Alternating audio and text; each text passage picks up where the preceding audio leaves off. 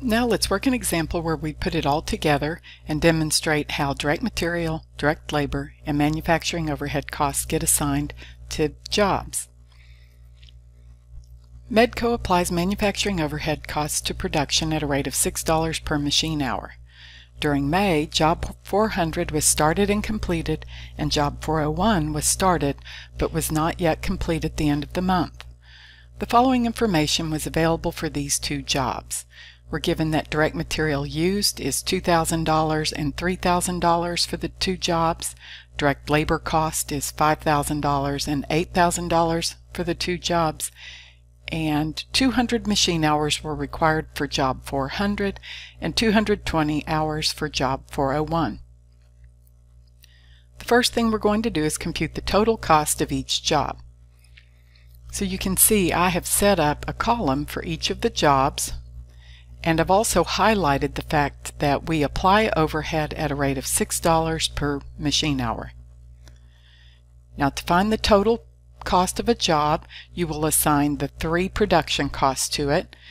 Direct material used is $2,000 for job 400 and $3,000 for job 401, and direct material is assigned directly to each job. Likewise, Direct labor is assigned directly to each job, $5,000 for job 400 and $8,000 for job 401. Overhead, of course, has to be allocated to the jobs. And you can see I've put the amounts in here, but it is applied at a rate of $6 per machine hour. So to get job 400 calculation, we'll take $600, $6 times 200 hours. For job 401, we'll take $6 times 220 hours.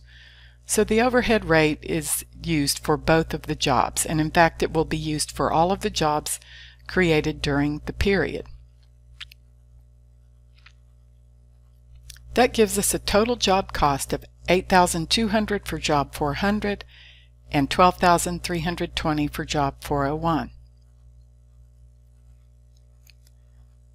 Now that we know the total cost of job 400, the second thing we are asked to do is if job 400 includes 50 units, what is the unit product cost for this job?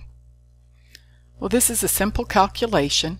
We will take the total cost, $8,200, and we'll divide by the 50 units, and that calculates out to be $164 per unit. So again, while this is a simple calculation, what we're going to see in questions 3 and 4 is why this is such an important calculation.